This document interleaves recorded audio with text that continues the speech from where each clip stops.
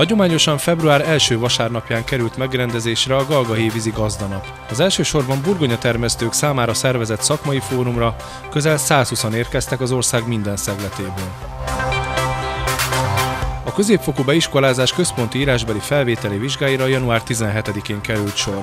A Gödöllői Török Ignác gimnáziumban 564 gyermek vett részt a felvételi vizsgán.